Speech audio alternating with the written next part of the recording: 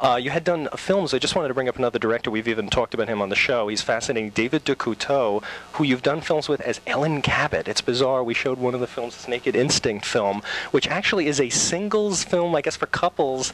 But it ends up having, because we had a um, co-host who talks about gay issues on, in public access in New York. He was fascinated that that film has more male nudity, or it has more male stroking than it has female action. So we were just curious about the when you were doing that kind of film. Was that the uh, his philosophy that he's making films for a gay male arc, ar- market and women too? Do you know at the time I always had a, a special rapport with Dave DeCouteau, like I always had with Fred Olen, Olen Ray. They would ask me to come. Can you do this one day thing for me? You know, there's this fee in it for you, and I didn't know what it was. I didn't know what it entailed or what I was going to be required to do. Oh, so I, well, no, with these particular uh, producers and directors, I was always just sure, yeah, I'll be there.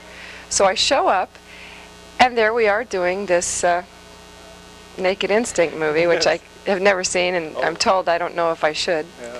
And uh, I have got uh, some uh, positive reviews from it, and then I've gotten some very negative reviews from it.